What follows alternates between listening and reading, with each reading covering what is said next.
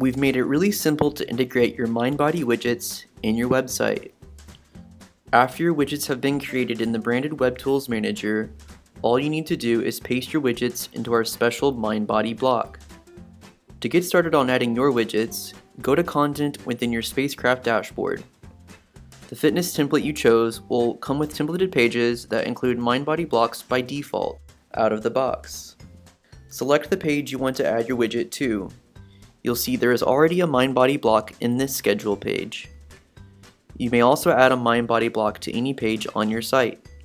If you want to add a new MindBody block, select the green plus icon and then choose the block right here. Now with the block ready for code input, go and log in to your branded Web Tools MindBody Manager in a new browser tab. Once logged in, select Widgets at the top in the navigation bar.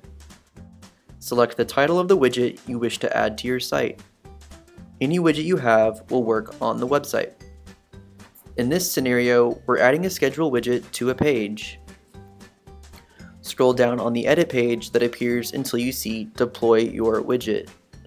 Select the green Copy to Clipboard button to copy the embed code. Go back to Spacecraft and paste the code into your MindBody block.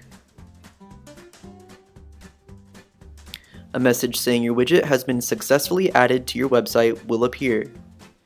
If you see a red error message, go back and copy the code from the branded Web Tools Manager.